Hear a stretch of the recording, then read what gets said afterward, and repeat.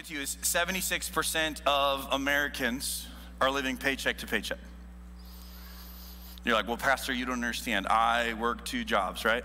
I get it. A single mom who works two jobs and loves her kids and never stops, right? With a gentle hand and the heart of a fighter. I'm a survivor, right? Yeah, I get it. But that's not most of our stories. That was Reba, by the way, for those of you who are like, what was Pastor Eric doing? Right?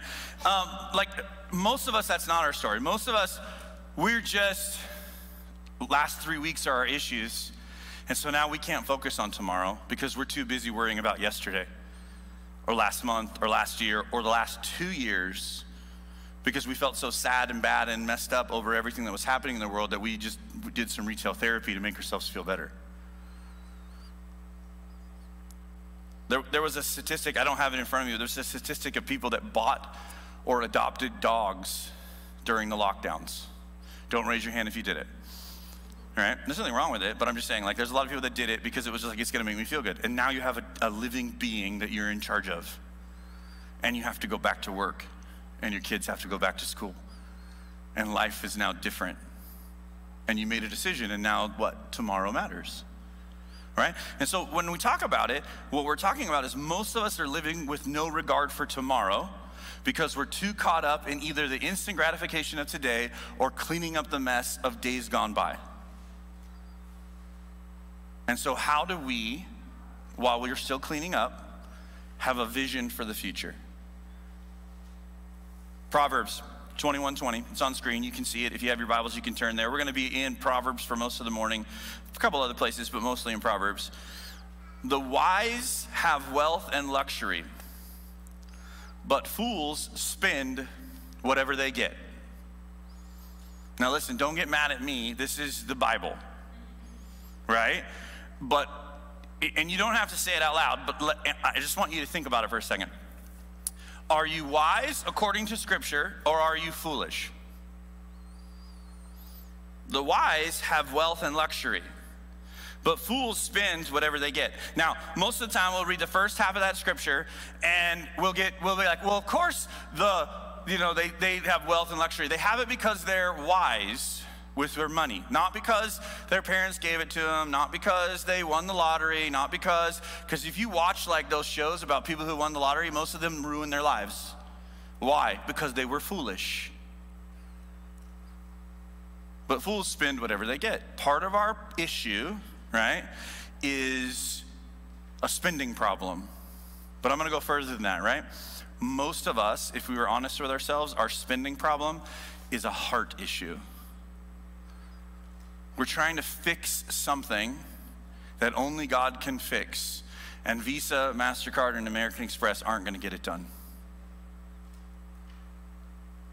The second verse that I want to share with you this morning Proverbs 6 6 through 8. The book of wisdom. This is for those that are going living paycheck to paycheck. Now, this is the book of wisdom, and it's tough. It's a little hard. He says, Go to the ant, you sluggard. Does anybody want to be called that? Sluggard. Everybody just say it. It's kind of fun to say, right? Like, go to the ant, you sluggard. Consider its ways and be wise. It has no commander, overseer, or ruler, yet it stores provisions in the summer and gathers its food at harvest. He's saying, part of the problem that we're facing is that we have a short term view of our lives. I only have to live today, tomorrow, six months, a year, but I don't really have a view, an eternal view of my life. Now, I'm going to give you some examples this morning, and they're going to be financial, but I want you to understand something about investing in the future. These are relationship truths. Everything I'm going to tell you today can work in your relationship. Everything I'm going to tell you today can work in your church, can work in your neighborhood, can work in every aspect of your life. And when we talk about generosity, we're not talking just about money. We're talking about our time, what? Talent, treasure, and right. And each of us have been given this portion by God the ability to either have or to make. And what you do with that, how you invest that, is going to make a difference in the future. Now, when I say the future, I don't just mean my future, I mean the future of the world and the impact that we have and the influence that we have. Like, what's, what's Hope City gonna look like when Pastor Eric's long gone?